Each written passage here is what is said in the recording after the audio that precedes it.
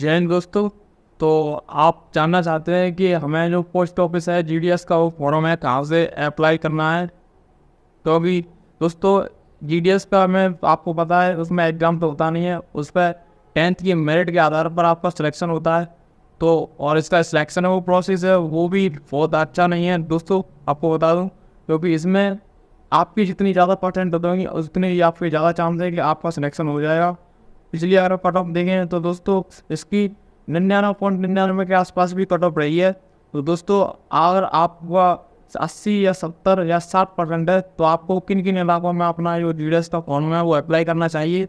मैं आपको बताता हूँ दोस्तों, अगर आपका सत्तर साठ है तो आपको एवरेज है तो आपको कम से कम उत्तराखंड और ये नीचे के इलाके हैं उत्तराखंड, तमिलनाडु आंध्र प्रदेश से अंडमान निकोबार वगैरह ये इतने हैं तो इनकी कट ऑफ़ बहुत ही कम जाती है दोस्तों, क्योंकि वहाँ पर बहुत कम अप्लाई करते हैं लोग।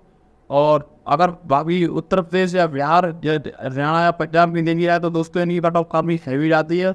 और इसमें ज़्यादा से ज़्यादा जो इंग्लिश मीडियम के छात्र हैं, उनका ही सिलेक्शन होता है, क्योंकि उनकी परसेंटेज दोस्तों नब्बे प्लस ही होती है।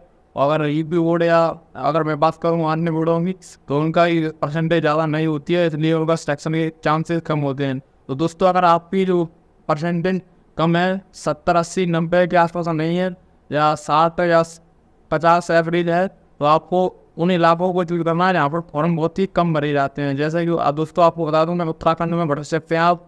आप झारखंड में भर सकते हैं, आप त्रिपुरा में भर सकते हैं, और आप असम में भर सकते हैं, क्योंकि इधर ये फॉर्म है बहुत ही कम ही अप्लाई होती हैं। तो आप पे ज़्यादा चांसेस हैं कि आपका सिलेक्शन हो जाएगा। तो दोस्तों मिलते हैं अगले वीडियो में। धन्यवाद।